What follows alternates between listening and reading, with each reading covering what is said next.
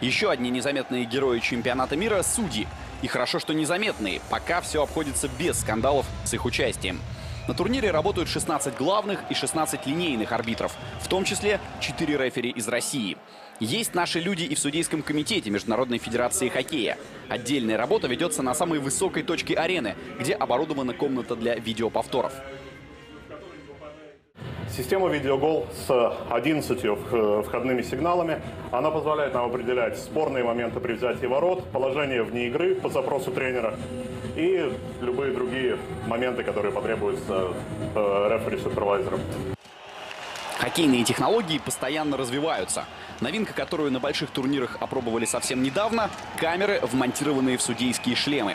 Они позволяют зрителям увидеть все происходящее на площадке глазами арбитра.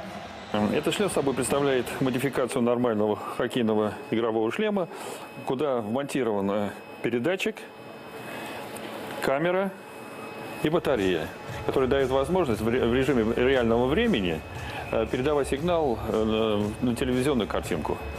Всего на каждом матче чемпионата мира работают 24 камеры, расположенные в разных точках арены. Картинка с них собирается воедино в машине, которая с виду похожа на обычный грузовик. На самом деле это ПТС – передвижная телевизионная станция. Сюда поступает сигнал со всех камер. И здесь режиссер формирует ту картинку, которую видят зрители. Правда, кое-что в трансляцию не попадает.